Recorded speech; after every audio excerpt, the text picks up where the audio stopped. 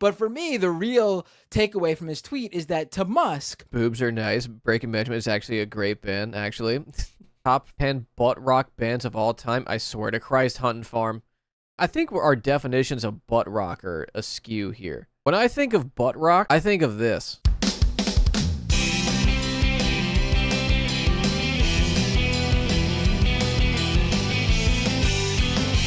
Wait, this isn't actually the song I was thinking of. Is it this one?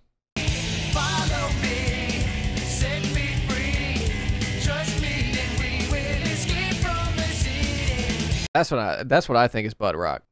No, Santeria is not butt rock. That's crazy. Breaking Benjamin, Seether, Nickelback, Creed, Shinedown, Buckcherry, all butt rock. Butt rock doesn't mean bad. They're not butt rock. No, butt rock is a vibe, okay? Butt rock is a vibe, and that is not it, okay? Like Smash Mouth, that's butt rock.